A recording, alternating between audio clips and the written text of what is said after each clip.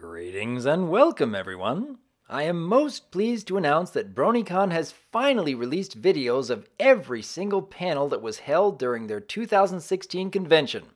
I have been hoping oh so very much to show these off to you since there were more than a few entertaining and even heartwarming moments which I wasn't able to capture on camera.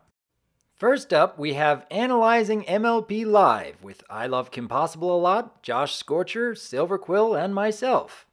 Much of the panel is a Q&A with a lot of audience participation, and you'll certainly hear a lot about what goes into our work and how we got started. But I have to be honest here, by far the most memorable bits from this panel are when KP and Silverquill keep pestering Josh with constant puns and jokes. And even though I do feel a little sorry that Josh had to go through all of that, I can't help but chuckle when I go back and listen to that whole panel.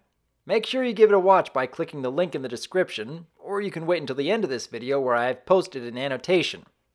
Also, I'd like to direct your attention to the TF2 Analysis Anarchy panel where, I kid you not, the crowd standing outside the panel room was so long there weren't even enough seats to accommodate everyone. I was honestly shocked that our series had garnered so much of a fan base. Anyways, we do talk about everything that went into making the series, even showing off a few episodes which, at that point, hadn't aired yet. However, the one moment I hope everyone will take a look at happens near the end where Lightning Bliss shows off a sneak peek of one of her personal projects. An animatic which was so impressive there was a standing ovation at the end of the presentation. Again, I hope everyone will check out at least that much from these panels at BronyCon 2016.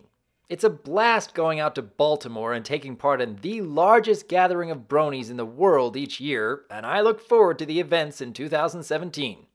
Until next time, I am Dr. Wolf, and I look forward to hearing from you.